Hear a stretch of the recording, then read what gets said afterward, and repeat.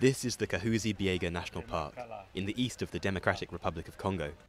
For the last year, the forest has been the scene of conflict between wildlife rangers and members of the Pygmy ethnic group, who claim the territory as their ancestral home. But the biggest victims of this conflict could be the endangered eastern lowland gorillas, who also call this park their home. The Pygmy people have been destroying the park through logging, coal production, sawmilling, and even mineral extraction. These activities are incompatible with conservation. They are activities which destroy the gorilla's natural habitat.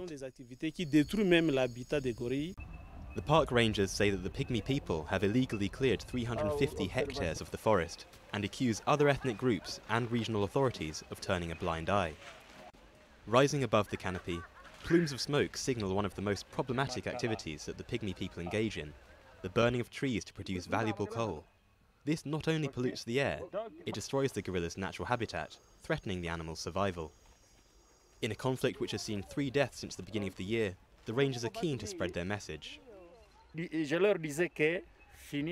I told them these illegal activities in the park are over.